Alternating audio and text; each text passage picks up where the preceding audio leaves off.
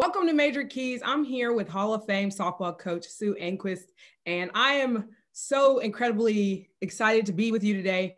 I saw you speak at a summit last week, actually, and I had heard of you through our mutual friend, JT Toms, um, but I had never gotten to see you speak. And so, obviously, in the nature of this, this pandemic, I was able to watch you virtually, and I thought, I would absolutely run through a wall for this coach, you know? And so I was so excited to to uh, talk with you today. My first question that I always ask my guests can you give me your sports journey in 60 seconds? So I know it's going to be a challenge given your illustrious career. Um, but if you can, from the very beginning, where you found sport to where you are now in 60 seconds.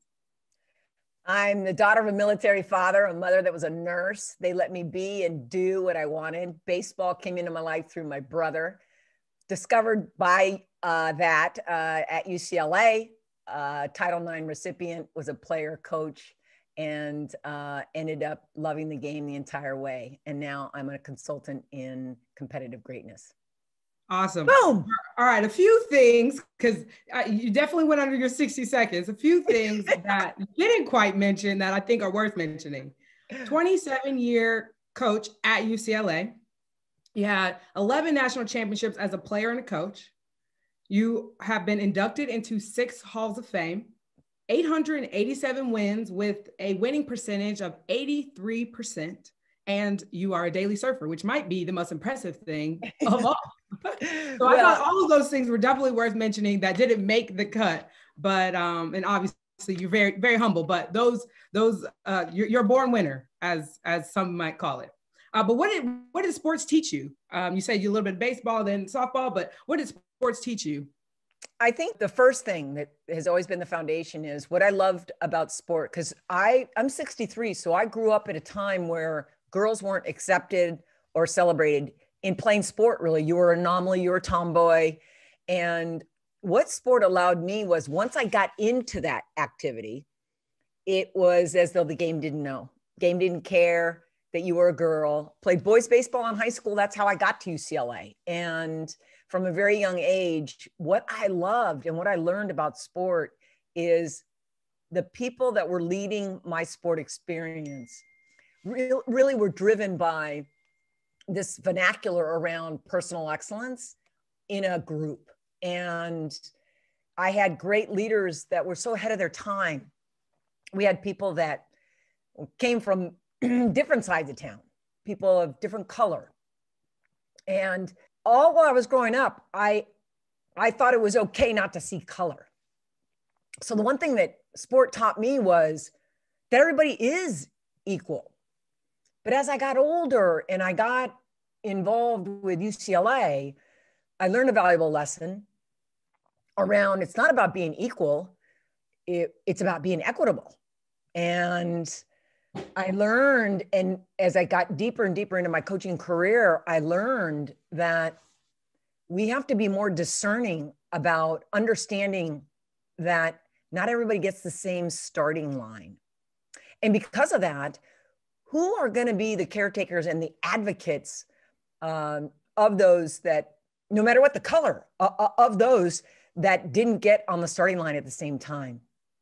And we live at a time where you know, systemically, we have so much injustice going on, so much racism going on that I, I really want our education communities to be able to lock arms in this common language around not only providing a safe place for student athletes to come in and perform to their best, but also to let their guard down and say, let's all talk about our differences. So sport taught me that excellence doesn't negotiate.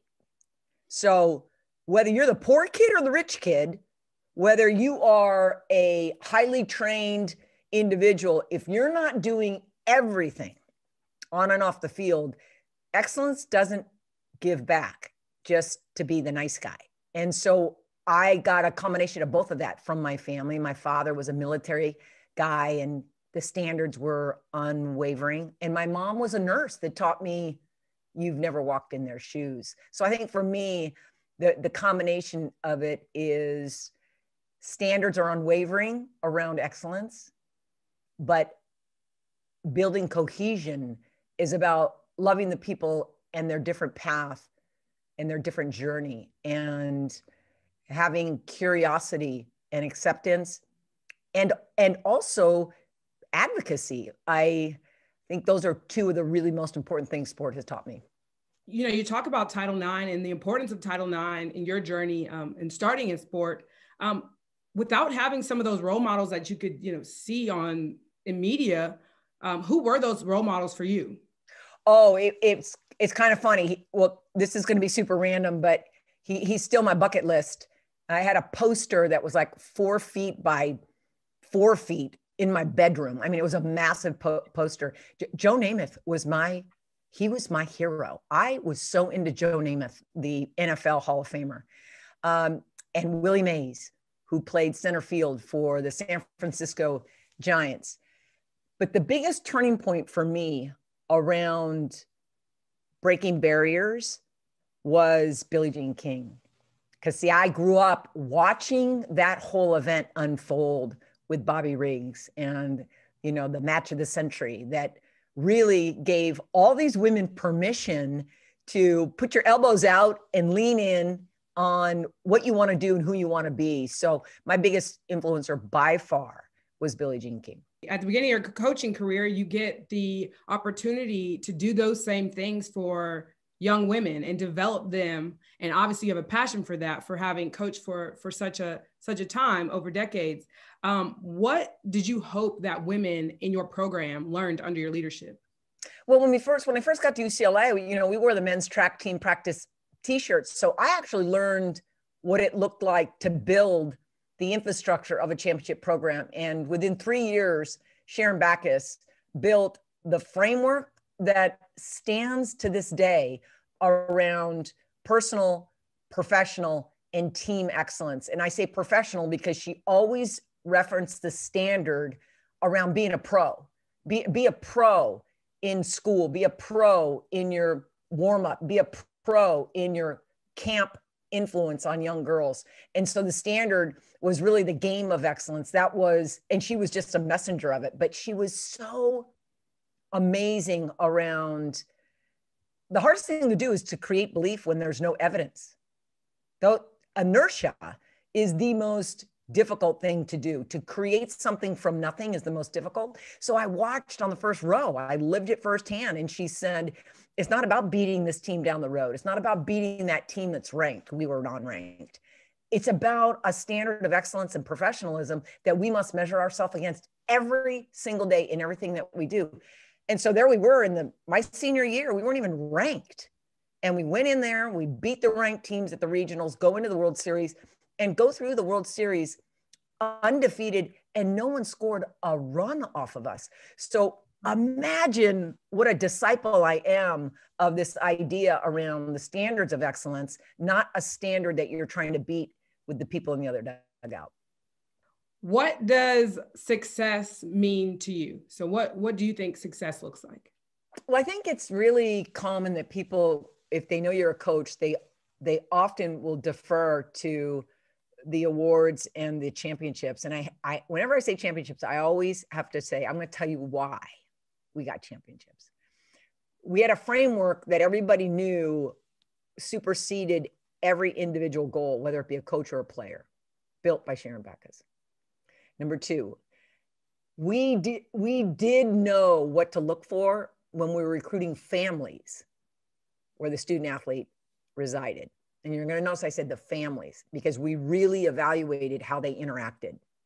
And we let go of athletes. We didn't go after athletes when we didn't see those familial values that were active and enforced.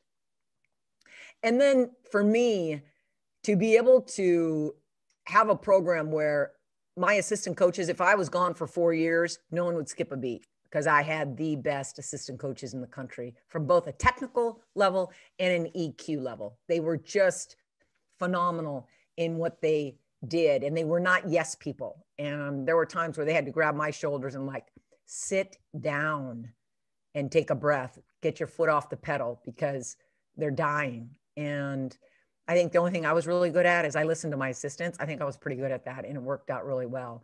But I'm not really most proud of the championships. I'm most proud of the relationships that we built in this program, the bubble, it's called the bubble, and they remain strong to this day. And people say, well, give me an example. And I go, I'm most proud of the majority of my players now are having children. And to have them come down and spend the weekend with me um, is probably the most gratifying that they stay connected to the program and they want their children to have that experience of just being in the bubble. That's what I'm most proud of is the authenticity and the longevity of those relationships. That's great. And I absolutely agree. That that is definitely success as a coach. We're gonna shift gears just a second. So I'm gonna do rapid fire. Um, yeah. I have uh, a few questions to ask you. So are you ready? I'm ready. Shoot. All right. So what is your favorite women's sports moment of all time?